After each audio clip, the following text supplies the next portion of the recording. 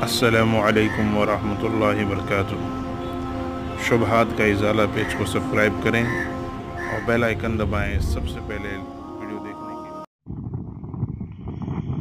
بسم اللہ الرحمن الرحیم۔ قسط نمبر 633 امت مسلمہ کی اجتماعیت میں تفرقہ بازی کا افسانہ۔ قسط نمبر ایک۔ خوارج کی فرقہ پرستی اور مرکز سے فرار۔ علیحدہ سے اپنی طاقت بنانا شرائیت کا جائزہ۔ دعوتی کام اور اس کا اسلوب۔ الحمد للہ الحمد للہ وحدہ والصلاة والسلام علی من لا نبی بعدہ اما بعد۔ خوارج۔ خارجی کے معنی نکلنے والا۔ اور اس کی جمع خوارج ہیں۔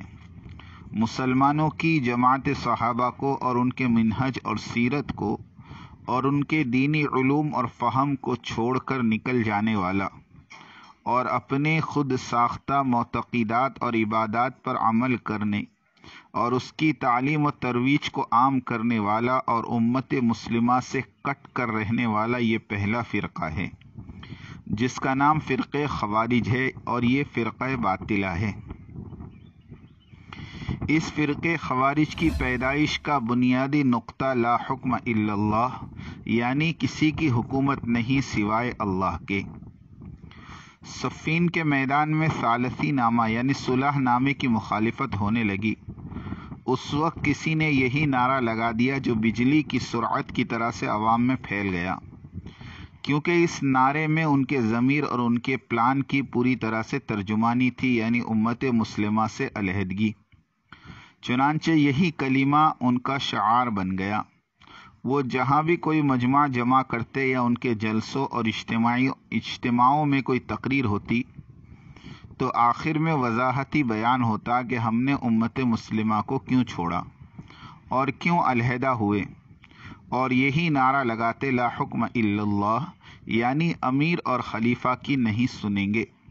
اس لیے یہ فرقہ مذہب سے زیادہ سیاسی شکل میں تبدیل ہوتا گیا۔ نمبر تین، عام مسلمانوں سے اس فرقے کا اختلاف صرف خلافت یعنی امارت کے چند مسائل میں تھا۔ ان کے نزدیک صحت، خلافت اور امارت کی شرط جمہور مسلمانوں کا انتخاب تھا۔ قریشیت کی کوئی قید نہیں تھی۔ حفشی غلام بھی اگر منتخب ہو جائے تو اس کی اطاعت واجب ہے کہتے تھے۔ حضرت ابو بکر اور حضرت عمر رضی اللہ تعالی عنہما کے انتخاب کو جمہوری اور ان کی خلافتوں کو صحیح سمجھتے تھے۔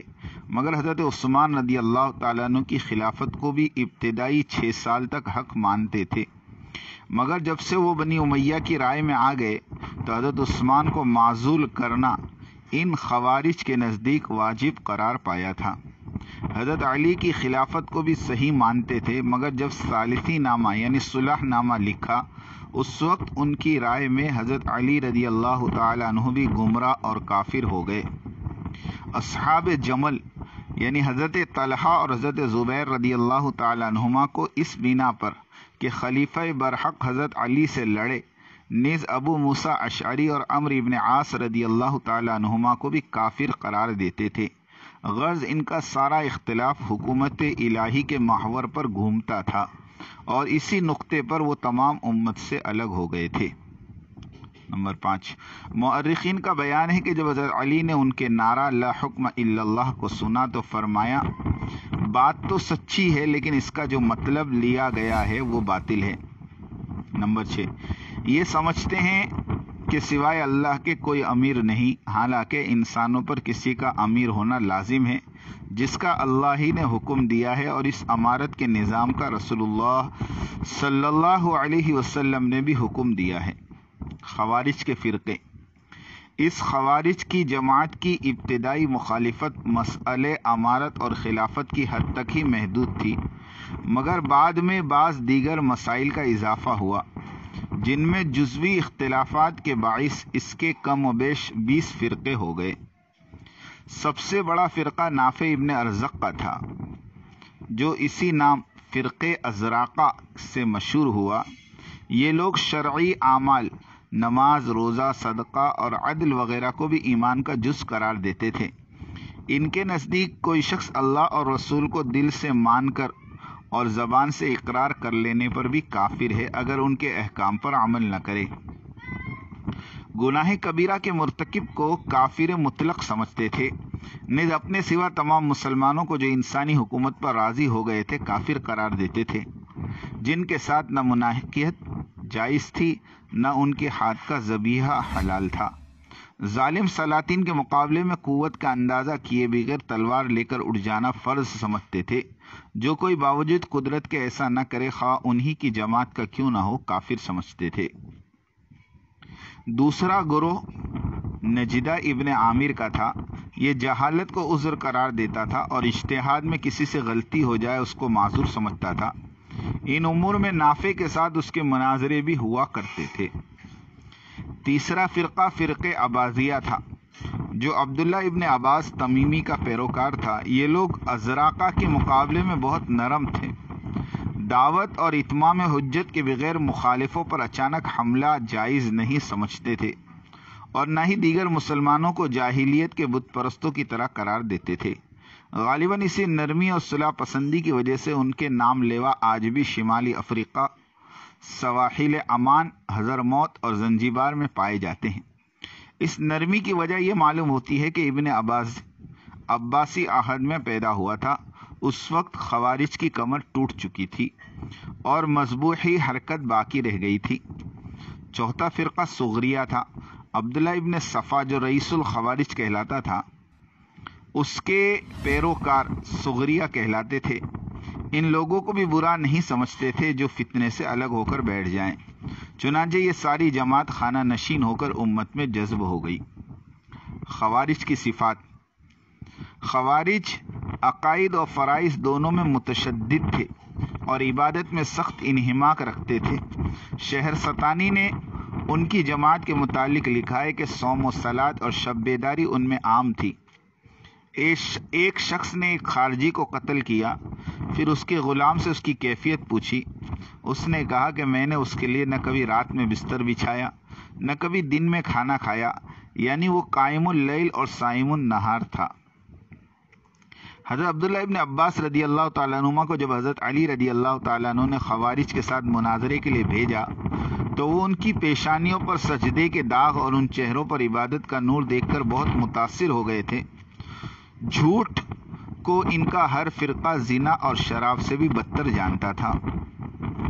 بغدادی نے اپنی کتاب اصول الدین میں لکھا ہے کہ خوارج کے ایمان اور عمل کی بنیاد خالص قرآن پر تھی۔ احادیث کو دین نہیں مانتے تھے۔ ان کے نزدیک مخالفوں سے جہاد کرنا نجات کا بہترین ذریعہ اور دین کا اہم فریضہ تھا جس میں ان کی عورتیں بھی شامل ہوتی تھی خوارج سے صحابہ دور رہتے تھے۔ خوارج جو دعویٰ لے کر کھڑے ہوئے تھے یعنی لا حکم الا اللہ، وہ قرآن کی کھلی ہوئی تعلیم ہے۔ اور جس زمانے میں اس فرقے کا ظہور ہوا، اس زمانے میں صحابہ اچھی بڑی تعداد میں مدینے میں موجود تھے، مگر کسی صحابی کا نام خوارج کی جماعت میں نہیں ملتا۔ اس کے لیے حسب ذیل وجوہ ہو سکتے ہیں۔ ان فرقے خوارج کا خروج سب سے پہلے حضرت علی کے مقابلے پر ہوا، جن عالیشان جن کے عالیشان رتبے سے سب واقف تھے۔ بھلا وہ حضرت علی کو چھوڑ کر خوارج کا ساتھ کیسے دیتے؟ صحابہ جماعت کا ساتھ چھوڑنا جائز بھی نہیں سمجھتے تھے۔ چنانچہ جب یزید ابن معاویہ کی بیت ہوئی اور اس وقت حضرت عبداللہ ابن عمر اور حضرت عبداللہ ابن عباس نے جو باوجود اس کے کہ پہلے سے اس کے خلاف تھے بیت کر لی اور جماعت سے الگ ہونا گوارا نہ کیا ردوان اللہ علیہ مجمعین خوارج فنا ہو گئے اور ان کی تاریخ مکمل نہ ہو سکی۔ ادبا میں سے مبرد نے الکامل میں اور ابن ابی حدید شعی نے شر نہج البلاغا میں اگر ان کے کچھ حالات نہ لکھ دیے ہوتے تو ہم تک صرف ان کا نام ہی پہنچتا۔ اس لیے خوارج کی جماعت کے متعلق ہمارا علم بھی محدود ہے۔ شروع میں اس جماعت میں زیادہ تر وہ عرب شریک ہوئے جو کوفہ اور بسرا کی چھاونیوں میں موجود تھے۔ ان میں بنی تمیم کی تعداد زیادہ تھی جو سخت جنگجو تھے اور جن پر سادگی اور بدویت غالب تھی۔ بعد میں اور لوگ بھی شامل ہوتے گئے، خاص کر موالی عجمی نیو مسلم، جو بنی امیہ کے مظالم سے تنگ تھے۔ انہوں نے خوارج میں آغاز اسلام کی سادگی قوت اور مساوات اور جمہوریت دیکھی اور اس وجہ سے ساتھ دیا۔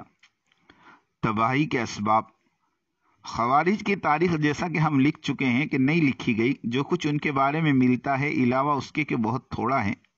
غیروں کی زبان سے ہے اور یک طرفہ ہے، اس لیے ان کی تباہی کے صحیح اسباب کا پتہ لگانا مشکل ہے۔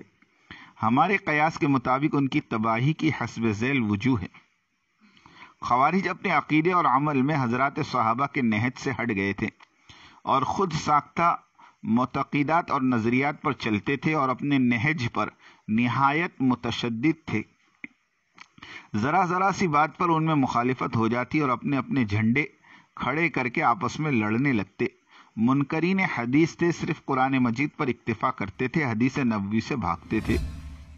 شرائط کا تجزیہ، ہماری یہ قسط چھ سو تیس اور چھ سو اکتیس کا بقایا ہے، جن قسطوں میں امارت اور خلافت اور آنے والے فتنوں کی پیشن گوئیاں حضور اکرم صلی اللہ علیہ وسلم سے منقول تھی، بیان کی گئی۔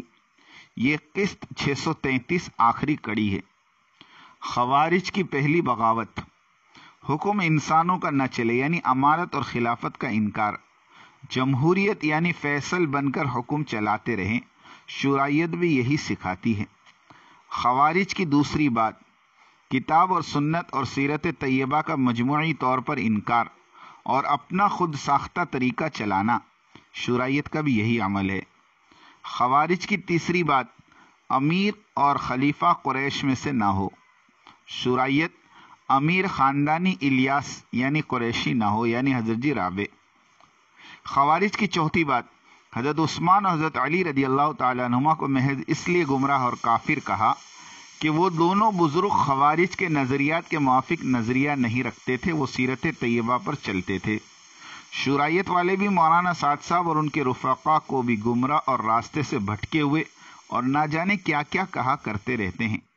لاکھوں کتابیں چھپوائی گئی، دنیا تمام کو متعارف کروایا گیا کہ یہ امیر بننے کے لائق نہیں، یہ تو یوں ہیں یوں ہیں، وغیرہ وغیرہ۔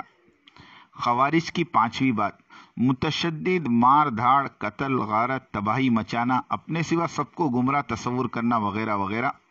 شرائط والوں کے اس فتنے سے بائیس سو طلاقیں ہوئی، تین جانے گئی۔ دنیا تمام میں بے شمار لڑائیاں جھگڑے۔ حضرت جی پر جان لیوا حملہ۔ رائے مرکز، بنگلور، گجرات، افریقہ میں امارت والی جماعتوں کی مار پٹائی تہمتیں۔ خوارج کی چھٹی بات۔ خوب عبادت ریادت ذکر سیام قیام اللیل وغیرہ وغیرہ۔ شرائط والوں کے بزرگوں کی بزرگی کا ہر طرف ڈنکا بچا رہتا ہے۔ یہاں تک کہ ہم قرآن اور حدیث پیش کرتے ہیں۔ شرائط والے عقیدت کے اندھے پن میں ہماری قسطوں کو جھوٹ اور بکواس کا نام دیتے ہیں۔ حالانکہ وہ لوگ قسطوں کو نہیں، بلکہ قسطوں میں لکھی گئی قرآن اور حدیث کو جھوٹ اور بکواس کہتے ہیں، جس سے وہ اپنے ایمان سے ہاتھ دو بیٹھتے ہیں۔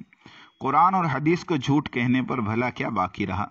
یہی سب کچھ خوارش کی عبادتوں کے سبب لوگ ان کی طرفداری میں قرآن اور حدیث کو حق اور برا بھلا، قرآن اور حدیث کو حق کو برا بھلا کہتے تھے علیہ باللہ۔